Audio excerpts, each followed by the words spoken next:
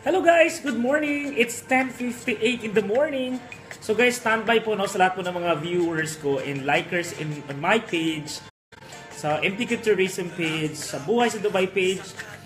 Okay, so open topic tayo ngayon guys. Anything who you would like to ask about traveling to Dubai or mga job opening dito or anything anything under the sun that you would like to know guys. Don't be shy, just comment in the comment box below para po replyin po natin for as long as I know how to give you guys an answer. Okay?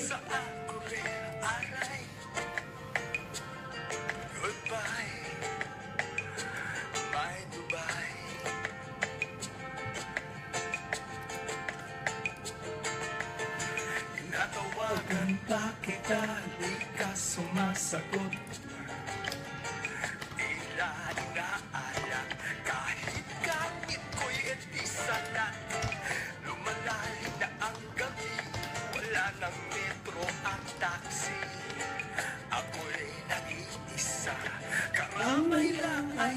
karakti Aray, mukhang goodbye Oh my goodbye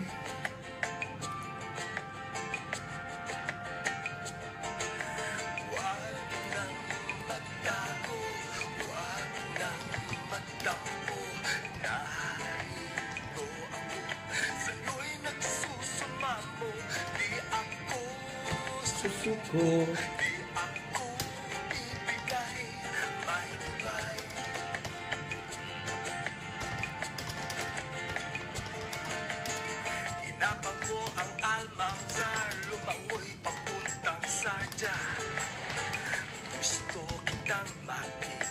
I Really want to see ya.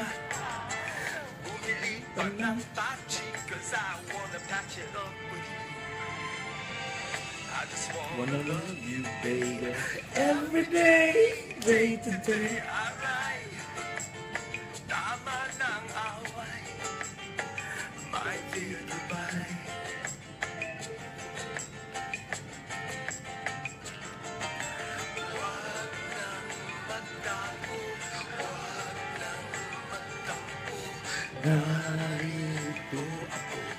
Sa'yo'y nagsusumamo Di ako susuko Di ako Ko ibigay. May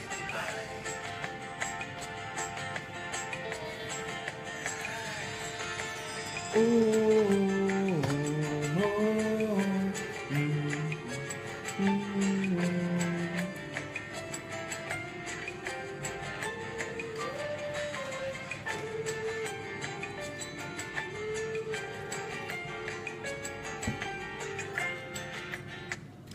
Okay guys, so good morning again to everyone. Now it's 11.01 dito po sa Dubai. Hello po sa aking mga viewers on my YouTube channel. Pasensya na po guys kasi nga hindi siya live sa YouTube. Uh, I'm doing it in my Facebook wall. On my Facebook wall pala, kaya po hindi nyo nakikita yung mga personal comments that is running on the screen at yung mga love na lumilipad ng katulad ng ganyan. Kaya, But then, thank you so much of course sa lahat mga nagko-comment. And now we have a call. Okay, live po tayo ngayon. Impika Teresa, good morning. Hello, yes, good morning. Okay. Okay. Oh, okay. No, it's okay, sir. Right now, because we already have partner, I think uh, I have to decline that for now. Okay? All right. Thank you. No, it's okay, sir. Thank you so much. Okay. All right. So that's another uh, tourism company offering their services uh, dito sa MPQ Tourism, but uh, we have partnered already, kaya I think no need. So now, today guys, no, I'm gonna help you again. So lahat po no, ano pang pag-uusapan natin. Ayan, so may nagmi-miss call sa akin. Bakit ganun? May nagdedepende po ang discussion natin today sa mga messages niyo po or questions niyo po in that comment box below, especially to those who are watching us guys live dito sa Facebook. So, ngayon pa lang, I would like to say hello muna of course sa aking first commenter for today. My best friend Laila De La Cruz from the Philippines. Ayan, good morning. Sabi niya, wala kang kupa, Sir Juni. Magandang buhay sa'yo, my BFF. Ayan, thank you so much. Actually guys, sa damit ko ngayon, parang kulang na lang butterfly. Tapos parang a-attend na ako ng awarding ceremony. Tapos, matatalo ulit. okay. Yun lang. Wala lang masabi. Okay, hello kay JR. Yan, Sir Johnny, good morning po. Excited na naman ako na makinig at makita ka sa video. Good job, Sir Johnny. Mabuhay ka. Thank you so much din sa iyo, JR, of course.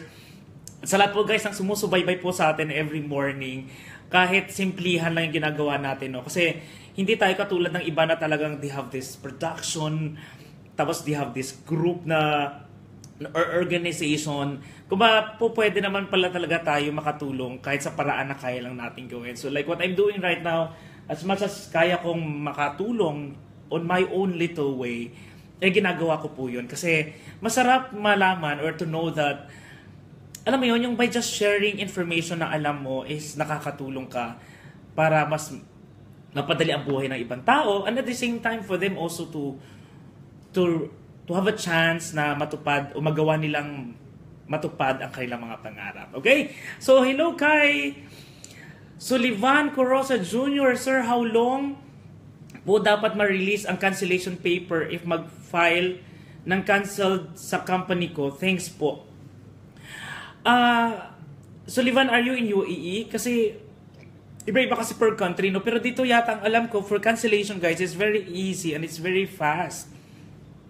Kasi yung pagpapakancel na niya, nagagawin lang naman ng uh, HR nyo or ng PRO nyo, is ina-apply lang nila yan online for the cancellation. At alam ko, ora mismo, I think 2 days, 3 days is too much. That is based on ano ha, based on my experience ko with my colleagues and some of my friends. Kaya kaya ganon. Okay, and from Ditablan, Palomar, Mark, Stephen. Hi sir, good morning. And good morning po sa lahat. Of course, kay Judith Adlaw. Hi sir, watching from Riyadh. God bless. Ayan, so naka, naka-check-in na ang ating mga followers from uh, Riyadh, Saudi Arabia. And of course, hello kay Ate Cathy Latorre Mariano, ang aking mentor.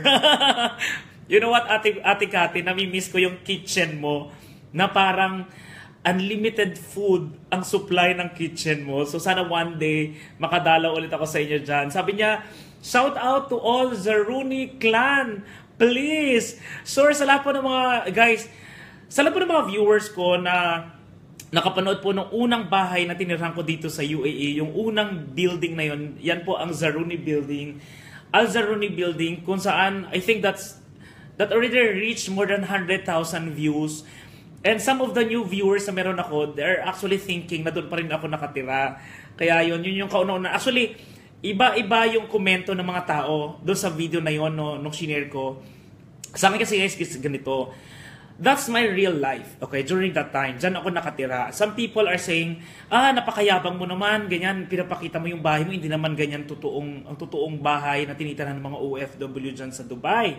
So my point guys is, hindi ko po sinasabi na ito talaga ang bahay ng mga OFW dito. I'm just sharing na ito po ang bahay na tinitirahan ko. So I'm just maybe so lucky, okay, to be with this family na unang tinirahan ko and I'm just so lucky na parang masaya naman yung unang experience ko, ng unang dating ko dito sa UAE. So, ganoon na lang siguro. As much as possible din kasi, ang ginagawa ko, I'm trying to share kung ano yung kwento ko. Okay? Kasi po, kung ikukwento ko yung buhay ng ibang tao, definitely, I might be wrong on, you know, interpret, interpreting yung buhay nila.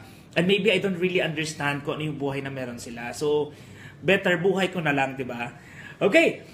So good morning also kay Mark Paulo Gerona Ansag. Good morning. Sabi niya, sir, for example, I have Dubai or Sharjah leisure visa. Pwede po ba sa Abu Dhabi airport na bumaba? Yes, Mark, the answer is yes. Okay, again po, uh, from our live streaming yesterday, yun nga po, kahit ano po po yung visa na hawak nyo for as long as yung airport na bababaan nyo is within UAE. UAE po yung country eh pwede nyo pong gamitin yan. So no problem if you have, let's say, uh, Sharjah visa pero dadaan ka sa Dubai Airport or Abu Dhabi Airport, wala pong problema yan. Kasi iisang country lang siya. Okay guys, just an FYI again sa lahat po ng mga viewers natin maaring from the Philippines pa lang. Ito guys, so I'm just sharing this from one of my followers kasi na lumusot nga sa Philippine Immigration Officers natin sa Manila Hinold kasi siya at question. Ang tanong, bakit ang ticket mo papunta ka ng Dubai? Pero ang sponsor mo is from Abu Dhabi. Okay? Maari kasi maging question din yan, possible question din yan sa inyo. So guys, please try to explain to them that kasi po, maari ang ticket kasi via Etihad going to Abu Dhabi from Manila is more expensive compare sa mag let's say mag Emirates Airlines siya or mag Philippine Airlines siya or mag Cebu Pacific siya na papunta ng Dubai. So it's very easy na pwede pong sabihin na yung yung sponsor niya naman eh nandoon na, they are aware of the time ng dating ko sa Dubai and they are all on standby na para sunduin ako kasi nga ang travel lang naman from Dubai going to Abu Dhabi is just 2 hours or less. Okay? So sana po makatulong yan. If ever po that your sponsor is let's say from other Emirates. For example, yung ticket mo is sa baba ka ng Dubai, pero ang sponsor mo, malalaman mo guys no, Di ba po, if you have sponsor, dyan po sa affidavit of support, naka-attach dyan ang visa copy.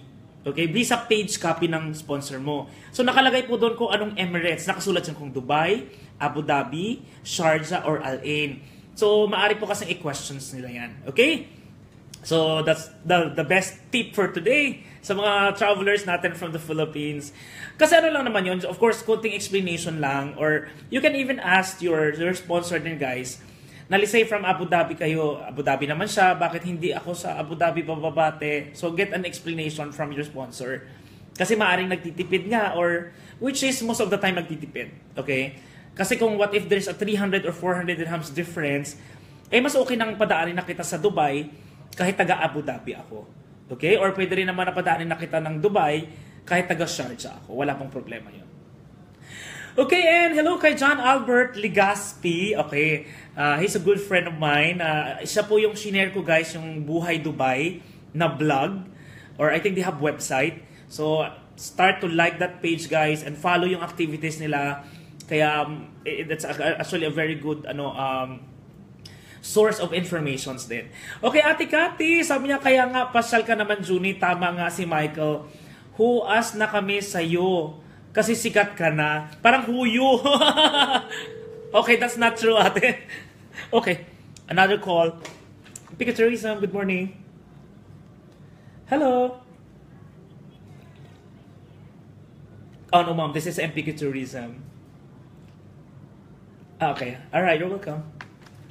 Okay, hindi po totoo yan, at, Ate Kati. Hindi po ako nang huyo. Huyo na daw, huyo na daw sila sa akin. Okay, ganito po, no. Um, kaninang umaga, I am reading some messages and, and mentions sa akin sa Facebook kasi uh, meron akong ganong apps. So, na they are recommending me. I think there's someone posted online na they are looking for a blogger na maring mag-share ng buhay niya. Parang yung buhay niya yata parang pangmano po. And someone commented and tagged me sa post na yun. Sabi nga na I would like to recommend nga is si Juni Franco Sersano na his is a little famous na sa, sa, sa Dubai, nasa vlogger, blah, blah, blah, ganun, ganun. So, I, I, I thank them. Now, people are considering me na sikat, pero ako guys, never, never, ever napapasok sa ulo ko na sikat po ako kasi because my intention is different. Dito ako hindi naiintindihan ng maraming tao.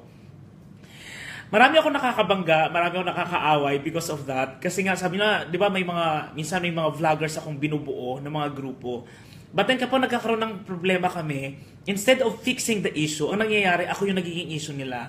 Kasi nga parang, ako daw yung, sorry, ginamit ko lang daw sila, etc. etc. Uh, for sure, they're talking na maaring uh, mayabang na ako kasi sikat na ako and all tipong ganoon. But then for me guys, never po papasok sa ulo ko yun. The reason why I'm creating or gusto kong bumuo ng organization ng mga vloggers dito sa Dubai is for them para po matulungan ko sila ma-expose from my connections. Because, uh, ganito, ang, ang, singit ko lang po to ha, because the intention why I'm doing vlog is for me to help my kababayans, not only just in UAE, but from, but to all OFWs from all over the world. My intention is to help. So if I have other vloggers pa with me doing the same thing, okay, mas maganda po. Because I believe, imagine, how many subscribers I have in YouTube lang. I have less than 10,000. Well, almost 10,000 pa lang. So ilan ang Pilipino, ilan ang OFW sa buong mundo. So it means, hindi ko naaabot lahat. Sa aking social media pages naman sa Facebook, I have only less than 20,000. And 20,000 is too small. Dito pa lang sa UAE, OFWs are almost 1 million. So it means guys, if I am very true to my advocacy na talagang makatulong sa mga kababayan po natin, what I'm doing is not enough. This is the reason why I am supporting the blog, si, si Lance Japur. The reason why I'm supporting him, because I know he has the capacity, he has the heart, na talagang tumulong din sa mga kababayan natin. Kaya guys, sa lahat po ng mga viewers ko, especially to those who would like to understand about uh, unlimited contract, contract, paano pa nag-resign ka, ano yung benefit mo, etc., etc., do visit Dublog. That's D-U-B-L-O-G.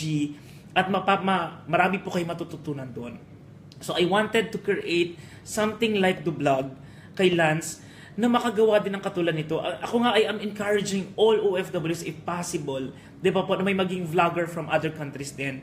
Kaya to my viewers from Saudi Arabia to Kuwait, to Oman, to Jordan, to US, to other part of Asian countries, sa Australia at kung saan-saan pa, this is what I'm really encouraging to all of my viewers. If uh, there's a poss- possibility guys, nakakaya nyong humarap sa camera, try to do vlogs. Just share your life. Para po maging whoever is planning to go there, eh at least they will be guided ng, ng kung paano nga ba ang buhay ng mga Pilipino dyan. Ano nga ba yung reality. Although, this is just an FYI to everyone, especially sa mga Middle East country. Like in my case, I cannot mention all. Okay? Hope you guys understand that. Because I have to protect my name, I have to protect, of course, yung stay ko dito na I cannot say, let's say, bad thing about the country. But as for me naman, if I'm going to rate UEE 1 to 10, I can say it's 9. Okay? I can say it's 9. So I, I, I don't want to share as much as possible. Kasi kahit saan ka naman yatang bansa talaga pumunta eh. ba? Diba? Merong laging good side and bad side yon. But as much as possible, sa case ko po, I wanted to share only positivity. It's because ang dami na po negativity sa buhay natin. Buhay pa lang natin, di ba? Personal problems mo, love life mo, work mo, family mo, kapitbahay mo is your issue. So, ayoko nang sumali pa doon. As much as, as possible, what I want is to encourage everyone, to motivate everyone, to uplift pa yung, yung, yung buhay ng mga Pilipino. Now, whatever man yung posisyon na meron ka ngayon, it doesn't matter guys kung kung nasa pinakamababa ka man na level ng pagiging OFW. It's because hindi naman dyan namin measure ang pagkatao ng isang tao eh. Ang tunay na sukatan ng pagkatao ng isang tao is nasa puso po yun. Aanhin mo naman yung maraming pera, malaki ang sinasahod sa abroad. Pero wala naman siyang naitutulong sa ibang tao, kundi sarili lang yan. I think that's that's not good. Okay! Okay, let's proceed guys. Hello, Kai. Kai Jen Torres, Villaflores, Sir Juni, good noon. Magkano ba ang visa dyan? Thank you and God bless always. Okay, Kai Jean, ganito po, yung visa as of now, uh, if you wanted to avail yung packages natin, if you are from the Philippines, MPQ Tourism guys is offering a 2,000 complete package po. That's with one month visa. And if you wanted to have with uh, three months visa, ano po to, depende po to sa age, gender, at kung may relatives dito, o kung may immediate family pala, or may first blood relative dito, ang traveler na yan. So the range will be from 2,800 up to 3,300. Okay? And who else? And wala na. wala na parang nanonood. But anyway, sige guys. So, for the meantime, please don't be shy. Write down your inquiries online para I'm just going to prepare something. Okay?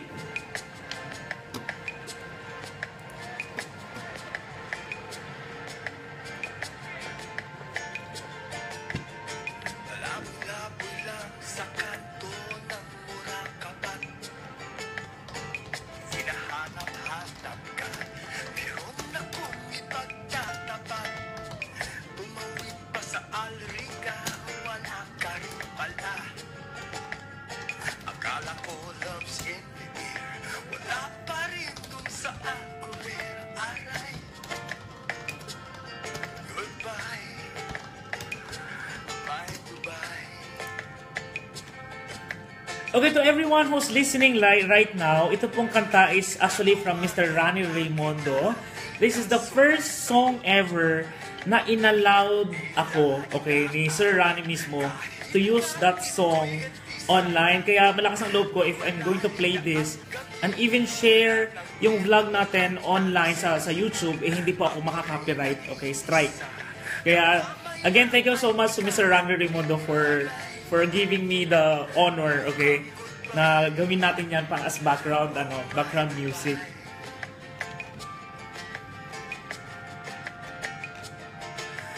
Huwag nang magtago, huwag nang magtampo Narito ako, sa'yo'y nagsusumamo Okay, since we are still waiting guys for some inquiries, for the meantime, I will share to you guys no paano nga ba mag-apply dito ng mga visas. So always remember po na ang pag especially to those who are from the Philippines, Huwag po tayo mako-confuse, okay? Guys, iba po ang application ng visa, iba din po ang application ng affidavit of support. Okay, so yan po ang hihimayin natin today. So let's start guys with the visa muna. Napakarami sa mga kababayan po natin na mini-message ako kahit kahit noon pa yata natatanggap ko lagi itong question na to, Sir, bakit ganon?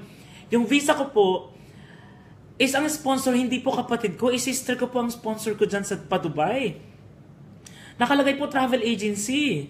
Okay, so guys, the answer to that is lahat po talaga ng visa is sponsored po ng visa suppliers. Okay, baka po kayo ma-confuse na may mga companies dito na mga visa suppliers. May ibang mga travel agency na sila din mismo ang visa uh, visa suppliers. May ibang mga travel agency na hindi sila visa supplier, okay? Na mayroon silang supplier na nagpo-provide ng visa nila. Kaya po, please do share this, especially if may mga kamag-anak na kayo na paalis ng Pilipinas or ina-applyan pa lang, try to explain to them po na ang nakalagay po talaga na sponsor sa visa is hindi po yung kamag-anak niya na sponsor. Okay?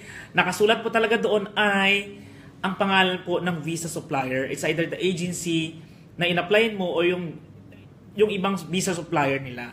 Kaya dapat po hindi po magiging issue yan. Pangalawa, Marami din pong question sa akin na, ah, kuya, bakit ganun? Ah, nakalagay sa akin, sales representative ang position. No, I think this is not position. Ang nakalagay po dyan is profession. So, nakasulat po dito na profession. So, yung profession, guys, standard lang yan, okay, na, na in, dinideclare sa encoding.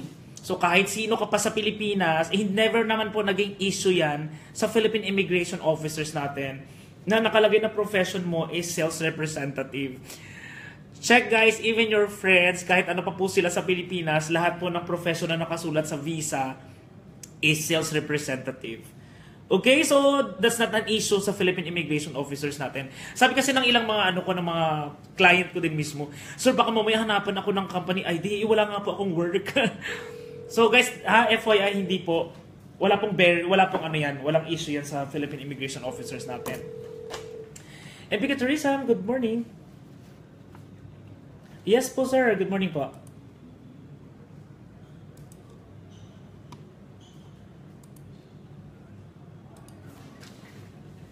Okay, wait lang po ah. So, December ano po? Okay, tapos kailan po babalik sir? Okay, sige, wait lang nga. Check natin ngayon. Manila, sir, no? Manila or Clark? So, anong gusto mo malaman? Manila muna. Okay, sige, sige. Alright, sige pa. Okay, for Manila, uh, kailangan nyo ba ng straight flight or kailangan nyo ng uh, lowest rate? Okay. Okay, for, ano, wrong spelling. Saglit. For Philippine Airlines, ang lowest rate po natin ngayon, sir, is, wow, December po kasi ito. Kaya medyo mataas siya ng konti. Wait lang po, ah. Sir, Philippine Airlines, nasa 3.5 po. 3,500. Pero kung check natin ang, ang Emirates Airlines, go. Emirates sa date na yan, mas mataas. Nasa, 2, nasa 4,000 siya mahigit. Pero kung Clark, ang Clark kasi sir, ano lang yan, katay, tsaka ano eh. Try natin ha, kung Clark. Ang Clark on that date, oh, mas mataas po. Wala na silang lower ano, lower seats, eh, wala, wala ng economic class, o nasa 5,000 plus na siya. Okay, sige. You're welcome. Bye-bye. Okay, so live tayo. I think we have some comments na na nadagdag. Alright, hello kay Aboy Herrera. Hi Sir Juni, may nagpapatanong po if may mga company dyan na nagpapa-employment at paano. Thanks and God bless. I think ganito yon. If you're asking na you are from the Philippines at kung may mga company dito na nag-hire, as of now guys, no, based on my uh, kwentuhan with some of the friends na nandito naman, eh meron naman talaga eh. I think all you need to do is just be more uh, aggressive applying online and looking for companies, lalo na po yung mga malalaking kumpanya, I believe sila po yung may kakayahan talaga to do that. Okay, like for example, duty free are still hiring people from the Philippines. Bihirang-bihira ang pagkakataon that they are having a local hiring dito. So most of the time, 'di ba, yung ang pangalan yata ng agency nila na, na partner in the Philippines is PAM. That's P E L M recruitment agency. Somewhere in uh, oh god I forgot the name Nakpil Remedios something something sa area na yan. So some, marami kasi ako naging kaibigan sa duty free when I'm still working po sa loob po ng Terminal 3 ng Dubai Airport. So I still believe na meron pa rin po. So sa lahat po ng mga kababayan po natin I suggest guys, no, if you're applying job, let's say from the Philippines, gusto nyo ng straight papunta dito, better apply sa mga big companies or sa mga big hotels kasi for sure, idadaan nila kayo sa tamang proseso. Okay? Hindi, mahirap po kasi guys, there are some other companies na ang gagawin nila, i-hire ka nila, direct hiring ko no, pero kailangan mo ng immediate family dito, tapos magta-travel ka dito sa tourist. Okay, ang problema, eh what if kung wala kang qualified sponsor? So you're just wasting money minsan. So that's may risk po siyang involved. Kaya I don't really recommend that. Okay, mahirap po yan, lalo na kunyari jobless ka in the Philippines, baka mamaya mas mapagastos ka pa. Okay, from G Heart. Hi sir, how about if the visitor doesn't have immediate family here? Okay, ganito yun guys. Again, kung first time traveler po ang tao from the Philippines going to UAE, mahigpit po ang Philippine immigration natin sa mga first time travelers. Kasi of course, wala silang, di ba, parang wala pa silang profile na talagang they are a traveler. So they have to check yung profile ng tao kung traveler nga ba siya. So since wala siyang immediate family, definitely i-check yung kanyang kakayahan na mag-travel. Kasi di ba, example, wala kang trabaho sa Pilipinas, tapos magta-travel ka sa Dubai. So that's actually a big question. Kaya nga po, kailangan, if you have, if wala po silang immediate family dito, kailangan po pasado ang profile nila as a tourist. So when you say profile, kailangan sana may magandang trabaho sa Pilipinas. Hindi po na may trabaho lang guys ha. Alam niyo naman siguro kung anong tinutukoy ko na may magandang trabaho sa Pilipinas. And second, sana mas maganda kung meron na siyang low, eh, Asian country na mga travels. So, or ano pa ba, kung professional na siya in the Philippines, so which I already mentioned yesterday, na kunyari may meron siya naman siyang PRC ID, o kung tagang professional siya, and the company can provide uh, your friend a leave certificate, then posible po, malaki yung chance na wala pong problema sa Philippine immigration officers natin. Okay? Or, pero kung ang question mo naman, if your friend is outside Philippines na, wala siya sa Pilipinas, wala pong problema ang pagta-travel dito, okay? Let's say, uh, like kahapon, I have from Taiwan, I have from Japan, yung mga kachat ko kahapon. So, wala pong problema na wala silang immediate family dito. Pwede silang mag-travel sa UAE. Kailangan lang po ng two-way ticket at saka ng visa. So, I can still help you with that, guys. Okay? And that's all for now. So, antay muna tayo. Hello kay Ruth Arenea. Blessed morning, Sir Juni. Ayan, good morning din sa iyo. And thank you so much again for watching my vlog kahit nandito ka na sa Dubai. Okay, so ngayon guys, so I'll just go back guys with some of the, okay. Question from Rosario Pai. Magkano pong 3 months visa? I'm Cherry. Hi, Cherry. Okay, ganito. If you're going to ask kung visa lang or packages, so, sige, uh, for kung visa lang po talaga, medyo mahal. Kasi siyempre dahil walang other uh, services na involved. I will just mention to you yung market rate. Ang 3 months visa sa market right now is nasa around 1,500 if Sharjah visa. So, ibig sabihin, um, meron, ano doon, meron po kasing age restriction ang Sharjah visa. So, mabilisan lang na explanation. Ang Sharjah visa, kailangan po For male is 19 years old, 19 years old and above, 19 years old up to 49 years old. Pero pag below that and higher than that, kailangan po may first blood relative siyang sponsor dito. For female naman, kailangan 31 years old up to 49 years old. Ayun po, pwede sila mag-apply niyan. Pero na walang immediate family.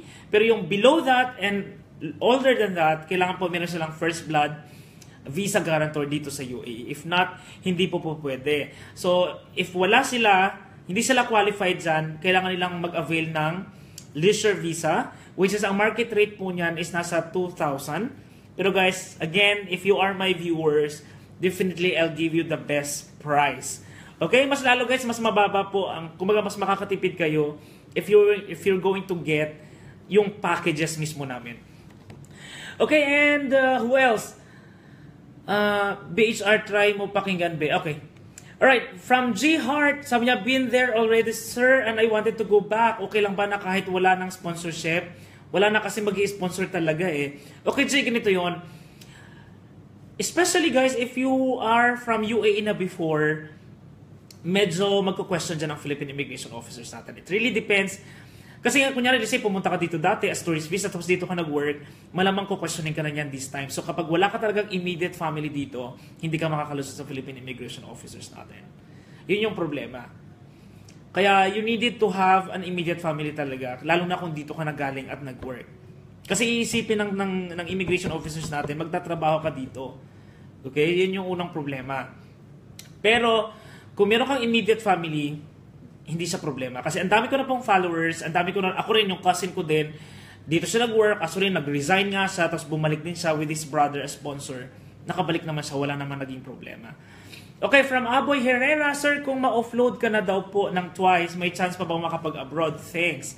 Okay, ganito guys, sa lahat po ng mga na-offload dyan, ayan, this is a very good uh, tip para po sa inyong lahat. Again guys, Kapag po kayo nag-travel at na-offload po kayo, make sure to know the reason kung bakit kayo na-offload. Okay, for example, yun pala, ang gagawin nyo the next time na gagawin nyo ulit yung pagta-travel is make sure to supply kung ano po yung missing part kaya kayo hindi pinalusot ng Philippine immigration officers natin. For example, I have one client, ang naging problema niya lang is kulang siya ng proof of relationship sa kanyang sponsor. Kasi parang first cousin niya, wala siyang dalang mga documents. So, the next time, nag-travel siya ulit, kumpleto na. So, nandyan na yung birth certificate nila magpinsan, tsaka yung parents nila na magkapatid, wala nang problema. So, yun lang lagi guys, no? Yung message po natin na kahit na ilang beses pa po kayo na-offload, kailangan lang may sagot na ba doon sa rason kung bakit kayo in-offload ng immigration officers. Kasi po, hindi po pwede na hindi kayo bibigyan ng rason. So, you have to let us know guys, the reason why you, you get offloaded, by the Philippine immigration officers at kung mabigyan niyo ng tamang uh, requirement na hiningi, then wala pong issue. For example, another case po, I have a follower dati pa, uh, hinana, kailangan lang niya ng leave certificate from the hospital. So, na in-offload siya, it's because he's a nurse, okay, somewhere in Cagayan de Oro. So, hindi siya pinayagan umalis. So, ang ginawa, kailangan daw niya ng leave certificate from the hospital. So, ginawa niya, ni-rebook niya yung ticket niya and then go to the hospital and ask for the, for the leave certificate. So, next time na bumalik na siya, and okay na siya. So, ganoon naman guys, eh, kasi naka, naka-comment naman dyan. Kaya po sa lahat ng mga na-offload natin, if you think na you have the reply or the requirements na needed by the Philippine immigration officers, then pwede na po kayo magpa, mag-rebook ulit at subukan ulit na lumabas ng bansa. Pero kapag wala, hindi po talaga po pwede. For example, ang reason talaga is, reason of your offloading is need an immediate family na mag sponsor sa iyo. Kung wala ka talagang immediate family, kahit ano pong gawin mo, hindi po talaga po pwede. Not unless, ang tanging option mo na lang is to get an employment from employment agency in the Philippines, makakalap, makakapunta ka dito as employment visa, wala na pong problema yon. Okay, again, kasi guys, no, so kasi na-offload na ako, ayoko na maghanap ng work dito. So, sa lahat po ng na-offload guys, at at finally or fortunately, inakahanap kayo ng work from any employment agency in the Philippines, hindi po magiging issue yung pagkaka-offload nyo dati. Okay, kasi nga, mas matutuwa pang ang, ang immigration officers natin is because mas sinunod mo ang tamang proseso. Okay? And hello kay Janice, ang aming accountant na super sexy. Di atay o open na. Okay. Hello kay Luella Libres. Ayan, sabi po niya, Hi po, pwede po ba dyan magtrabaho bilang katulong? Kasi may bag, may bag, may iba yata. Asa na tayo? Sabi, ban daw sa Pilipinas para sa mga katulong. Yes guys, unfortunately, I think as of now ha, wala pa pong let's say parang housemate or nanny from the Philippines na employment visa papunta dito. Yun yung problema. Okay. Although, sa na nalalaman ko, may mga nandito na nag, yung mga nandito na yun, nakakahanap sila ng work as servants. Yung nga lang dito na pinaprocess. Pero from the Philippines, as of now, I think ban pa rin talaga siya. Okay, meron ako nakaligtaan kanina si JM Hilario. Hi po, I'm from Dubai. Ano po? Ah? Dubai na po already. Ano po ba ang best way para makabalik po gamit tourist visa agency po ako? Possible po ba ang cross country? Okay guys, ito yon. I, I don't want to comment to that. It's because parang pandaraya kasi yan ano. Pero basta ito yung message ko. For as long as you're not from the Philippines at wala kang immediate family dito, madali na po ang pumunta ng UAE. Okay? Pero makakabalik. So nga, JM Hilario, kung wala kang kamag-anak dito, hindi po pwede from the Philippines. Straight going here. Okay, hello kay Sheldon Ray Azera Dacalos. Ayan, kumusta na Sheldon? Na-miss na kita. okay, uh, guys, uh, Sheldon is a new vlogger dito po sa UAE. So do follow his YouTube channel. Uh, ano ba? Ano nga pangalan ng channel mo, Sheldon? I think it's Boy Vlogger. Yan. So, Boy Vlogger. So, B-O-Y-V-L-O-G-G-E-R. Yun po ang kanyang channel. Okay. Agency po ako dati po, gusto ko po sana makabalik ulit dito. Galing na po ako dyan sa Dubai. Best way po, okay, I think I already replied. I think better GM na mag-agency ka ulit kung wala kang immediate immediate uh, immediate family na nandito. Okay, and thank you sir. Sabi niya sa napakagandang advice. Okay, you're welcome. And from Lynn Fur, Sir, kung mag-tour lang talaga, si client i-offload pa din sa immigration, ma-itinerary siya for tour from travel agency. Okay, ganito po, Lynn. For our tourists, if from the Philippines, syempre yun nga po, depende sa profile ng tao. If yung taong traveler na yan is talagang qualified naman to become a tourist, eh wala pong magiging problema. Okay, always remember guys, no, na hindi, hindi, hindi ibig sabihin na may, may hotel reservations ka na, may tour itinerary ka na, kukwestiyonin pa rin kasi ng Philippine immigration officers natin yung profile mo as a traveler. Okay. Gusto mo talaga, as in 100% alam mo sa sarili mo at alam ng Diyos na talagang pupunta ka ng Dubai, magtutour ka lang talaga.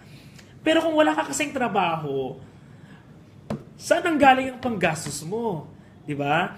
Pero kung traveler na po yan, it means, kunyari, nakapunta na siya ng Thailand, nakapag-Bangkok na sila dati, at pupunta dito, wala pong problema yon. So, Lin, ano lang po ha, ang issue, ang magkakaroon lang ng issue kung first time traveler. Pero kapag hindi naman, wala pong problema. Okay? From Luella Libre, sabi thank you sir, nasagot mo mga katanungan ko. And meron pa tayo nalampasan. And from Joseph Bitamor, Sir Juni, kumusta na po kayo? Wow, napakalungkot ng tanong na yan. Kumusta na nga ba ako? Ito guys, nang aaway ako ng mga tao. no, hindi. Ako, uh, I think if you're watching or following me guys from my old, old, old super payat days ko pa, na mukha akong addict, I, I, I think, I, I believe that I changed. Because I needed yung change na yon to protect ako in in some of this abuso, okay? Pero ay, hindi po ako negative na tao. I, I ang nangyayari kasi sa akin is ganito po. Kapag may mga taong, let's say, hindi mo talaga maiiwasan, di ba? Kahit gaano ka pang kilalang tao, hindi sila natatakot sa iyo of how big your influence is. Meron, meron tao talaga na mga manluloko, meron mga tao talagang lilibakin ka, may mga taong isa either hindi ko alam kung naiingit lang sa'yo, may mga tao naman na talagang parang wala nang makitang tama sa'yo. So that's, that's the reality of life. Ako naman is, I'm trying to avoid. I just know who are the people na kailangan mo i-avoid sa mundo. It's because kung ini-entertain mo kasi sila ng ini-entertain, ikaw lang yung maaapektuhan. So better stay away from these people and continue to be with people na alam mong you have the same advocacy in life. Yung mareho, pareho kayo ng tingin sa buhay. Okay, just to make it short, okay, try to be with people, guys, that you share the same interest in life. Yung pareho kayo ng pinagka, pinaniniwalaan. Or be with people na gusto mong maging din. It's because we have to accept the fact na yung yung yung influence talaga ng mga kasama mo is totoo yun. So if you are surrounded with very dramatic people, believe me guys, you will be very dramatic person na rin soon. Okay na, yung simpleng bagay lang, you are super sensitive. It's because you are surrounded with that people. Pero kunyari, if you are surrounded with this very aggressive, very positive people, na wala na silang ginawa kundi paano pa ma magamit yung kanilang mga leisure time na magkaroon sila ng income instead of just playing uh, ano, ano bang uso ng mga games ngayon? diba, for example, during day off, wala naman silang ginagawa, kundi nasa bahay lang naglalaro or or paano ba? Basta mga non-productive na mga activity na ginagawa nila. Pero later on, nagre-reklamo sila, wala na silang budget. So, be with people na alam mong, teka, gusto ko yung mga tao na parang bawat problema may solusyon masarap kasama yung mga ganong tao. Yung, hindi yung tipong most of the time naririnig mo na lang sa kanya, problema, problema, problema. So, promise guys, malaking influence po yung mga tao sa paligid natin. So, as much as possible, try to join yung mga organization na alam mong sharing with same of your interest. For example, gusto mong maging isang vlogger, so be, be with bloggers, okay? Or if you wanted to become let's say, uh, maging dancer. So, try to join yung mga ganong klaseng group. Okay? So, yun lang po. Yun lang yung simple message ko sa napaka... anong tanong na yun? Okay, from who else? From Annalyn Marcos, hello Sir Juni, kumusta? Relax lang, don't mind mo yung mga taong bitter, just be yourself. God bless, pa-shout out kay Mami Susie at Mami Shoni Marks. Thanks! Hello Annalyn, thank you so much of course. And yun lang guys, ayun, so ako po, if you're going to ask me again kung kumusta po ako, as much as possible, I would say na I am okay. Because I believe I am okay. Minsan guys, minsan no, yung uh, happiness natin really dis- depends on your choices. So if you choose to be happy, definitely you will be happy. So isingit lang natin ito bago tayo mag-goodbye. Ganito yung guys eh, let's say may problema, okay, and iniisip mo yung may problema ka. Pero iniisip mo lang na may problema ka, you're not thinking of the solution. Minsan po kasi ang problema po sa atin, no, this is a message to all OFW. Minsan kapag may problema at tiga parang wala ng solution, and then you stop. That's wrong way of dealing guys with our problems, lalo na po dito sa ibang bansa. Think again.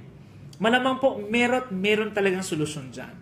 Okay? But do not make any decision na ang solution na gagawin mo is another problema. Sabi nga nila, ang problema ay hindi masusolusyonan, masusolusyonan ng isa na namang problema. So, always think guys of what else are other options, what else are other solutions na pwede mong magawa. Maring, ito kasi ang problema natin, ano, kapag ang solusyon kasi is mahirap, hindi natin pinipili yung options na yon. Pero we are sure to ourselves na yun lang talaga ang solusyon eh. Pero ayaw natin kasi nga parang mahirap. So, ano mangyayari ngayon sa'yo?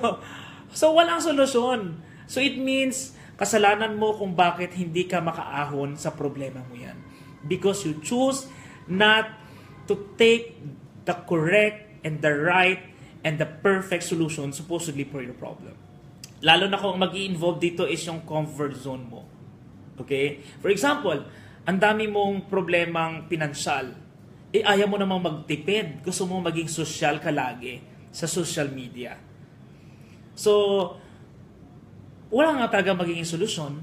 So, because alam mo ang solusyon is to stop being an impulsive buyer, going to all sales ng mga activities or mga events dito sa Dubai. So, malulubog at malulubog ka talaga. So, it means, ang solution kasi is ayaw mong magmukha kang mahirap online. So, di ba, parang, tiga kuya, hindi ako pwedeng tumira sa bed space lang. So, ang problema po is your behavior. Okay, tandaan po natin guys, all problems in this world has solution. And it's up to us if how fast we are to react and how fast we are to adjust. Kailangan ikaw mismo din mag-adjust din para masolusyonan ang problema.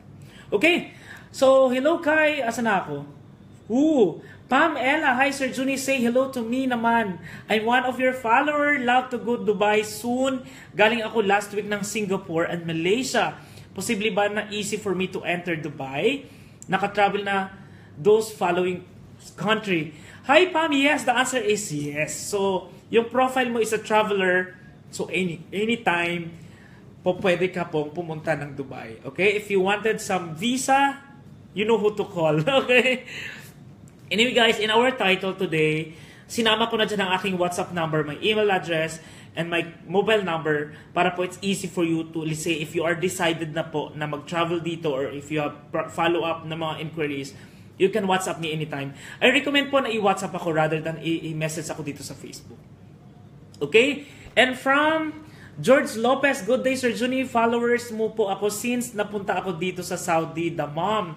Thanks for helping and kind helping and kind to our kababayan and ad, in advice. Take care always.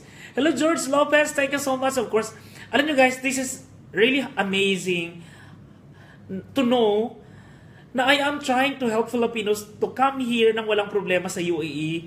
But then even our kababayans na, na kaya nasa ibang bansa sila, inararating sila ng mga magagandang mga messages na sinishare ko online. Katuwa, di ba? Natuwa lang talaga. Anyway guys, I think I have some comments in my my YouTube channel now. So, oh, common interview questions. Yan, sabi niya, Hi po, how about po civil engineers? Ilan po dapat yung expected salary? Okay guys, an FYI to everyone, when it comes to salary po, wala po talagang parang ano dito, law na may wage average, parang ganun wala po. Okay, let's get this call. MP Tourism, good morning. Oh, MP Tourism, good morning. Hello. Yes, sir. Good morning. Yeah. Okay. Uh, just for a while. Oh, Okay. Janice. Janice, from ano, uh, printing press natin. Yan, tanong mo lang siya. I think it's about payments or something. Okay. Hello, good noon. Good nun na ba? Hello? No, it's not yet. Yes. Mm. Okay, then.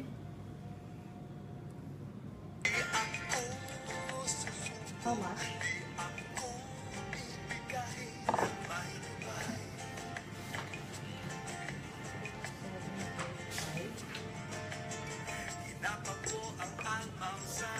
Okay, I'll just wait for my first. Gusto kitang makita. Hello? Nice. Yeah, Johnny. Love you, baby. Okay, I will just tell Mama Lu about this account. Regarding sa account. Okay? Okay na? Ano yun? Ang babayaran? Sabi pa lang ni Madam Malu, itong client na to, uh, you have to get, ano daw, uh, saan na siya? Ito yung name. Ito yung name. Uh, i-ready mo daw lahat ng mga invoices under her name. Basta ito yung name. Okay? Paano ko i-forward sa'yo? May WhatsApp ka ba? Ito na lang sulat na lang natin sa papel. Marunong kaya ako magsulat. Kasi nga, yun para maklear yung pangalan niya and balances and payments from tickets and all. Okay! Pero sure ni na online ni lahat. Oo. Ang invoices niya. Oo. Baka sa ano pa to? Ma- Matagal to? Matagal na to? Ewan ko lang baka yung itong huli lang. Okay guys, so ito, thank you so much of course. Hello kay Cold Heart na nanonood sa atin. Ayan, sorry guys, may may call kasi guys dahil nga we are on floor. So active po yung, bukas na po kasi ang MPQ Tourism ngayon. So I am receiving calls and some other transactions. Sabi po ni Cold Heart, sabi niya, sabi niya, Wow, sabi hello Junie, I love your program. Thank you so much sa iyo, Cold Heart. Sana sana is mas marami pa po nung marating at matulungan ng program na ginagawa natin. But anyway guys, later pala, I'm going to announce po no, sa lahat po ng mga sumali, of course, doon sa aking online pa contest for uh, Gladys Guevara concert, i-announce na po, i-announce ko na tonight yung nanalo doon kasi like and share po yun. Kung gusto nyo pang humabol, habulin nyo po mamaya. Although kasi deadline ko doon nung katapusan pa eh. But I think no, no, no, wag na. Para naman maging fair sa mga nag-like and share dati. So I'm going to announce tonight kung sino pang winner. So abangan nyo po yan. And of course from Joseph Bitamor, Sir, pasensya na ha, tipid nung message ko sa'yo nung una kong comment. Nakita ko lang po kasi kayo na naka-live, na-miss ko po yung banding natin sa tent dati. Salamat and hi din sa'yo Jocelyn Dularza. Uh, huh?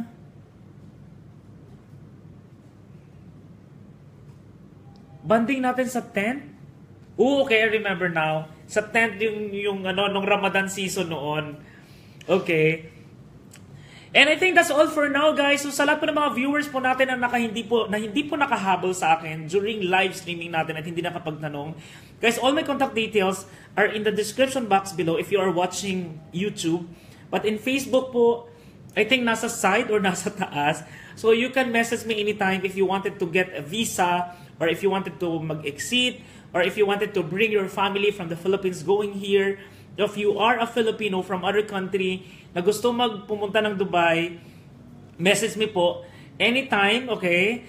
Just wait for my reply. Kapag please do check po yung time difference natin. Kasi minsan I understand that some of the followers na meron ako from the Philippines is we are 4 hours, we have a 4 hours time difference.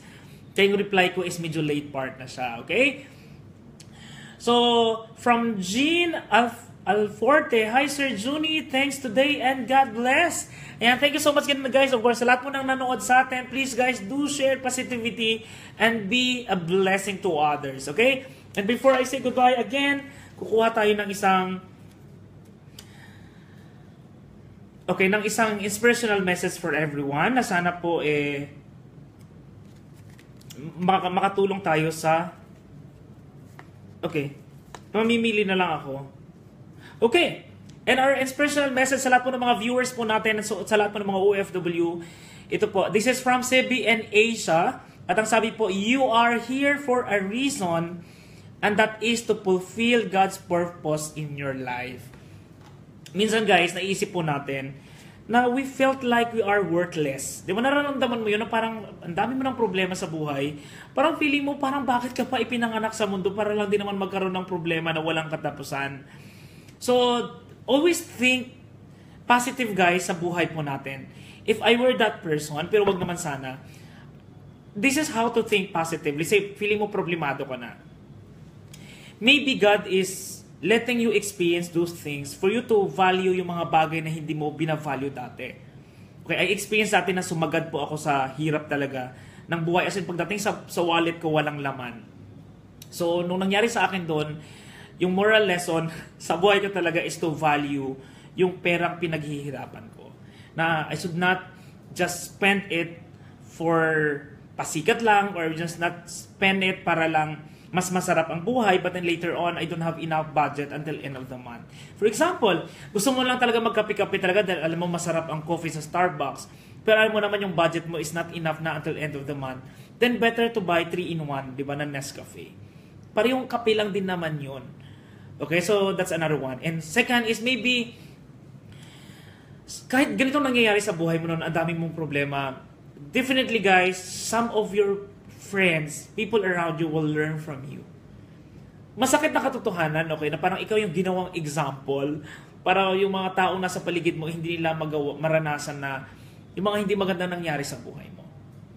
But still, just continue to pray na na God will give us wisdom, okay? Kasi nga may, may dahilan niya, everything has a reason why napagdadaanan natin yung mga hindi magandang parte ng buhay natin. So just continue to pray and still be positive. Ganun lang naman yun eh. Wala naman po talagang super perfectong buhay dito sa mundo. Okay, sabi nga nila, if you are too problematic and so stressful with your life, go out and see other people's lives. Para makita mo how, how still blessed you are compared to other people na nandito sa mundo. kung feeling mo parang your life is, is a waste, try to go out. 'Di ba? And see other people, uh, people's lives, meron pang mas worse sa inyo. So be thankful again. Be still thankful po talaga. Okay? So I think that's all for now. Thank you so much again guys for watching. Have a nice Today is what? Wednesday to everyone. Yan. And continue guys, sabi ko nga, continue to be a blessing to others. Have a nice day. See you tomorrow. Bye. Ha.